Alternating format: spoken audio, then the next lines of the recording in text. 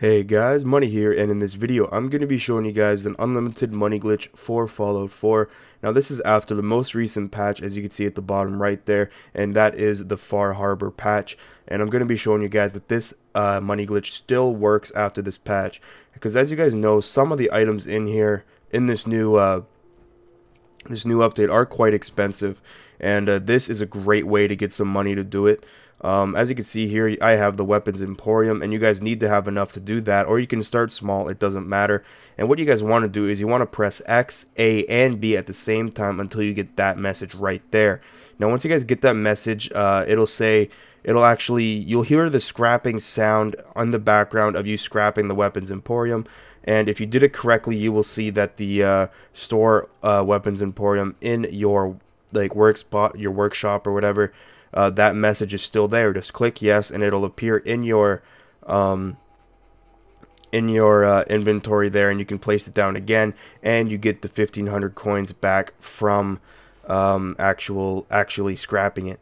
So as you can see there, I just did it again and I'm placing it down. As you can see, it was still in my inventory and I'm going to do it again. And I'll do this repeatedly for you guys so you guys can see the message and see what it looks like. Now, once you guys get the hang of it, it is incredibly fast and it can like you can easily gain so much money from this in a very very rapid amount of time and uh, depending on what one you do you get half of the coins back that you invest in it so with the weapons emporium uh, you invest 3000 and you get 1500 back now since you're not actually scrapping it you are just keep getting 1500 back. Now if you do end up scrapping it by accident which i will show you as well you will need to pony up the full 3000 in order to build another one to redo it. Um, but if you do it correct enough times that just washes itself out. Now as you can see there i have 9000 bottle caps after like a minute and 30 seconds of doing it and that is very quick.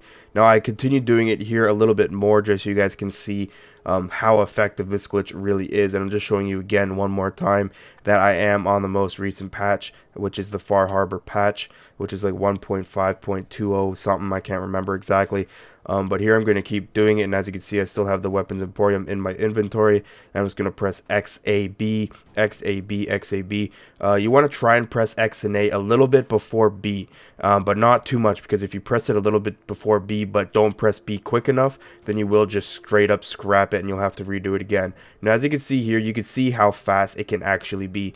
That and there I just messed up and actually scrapped it completely. So if you do that, you will need to pony up the full 3000 and the materials in order to rebuild it. Um, but if you do it correctly, you'll be able to farm money out of this very quickly and uh, very efficiently.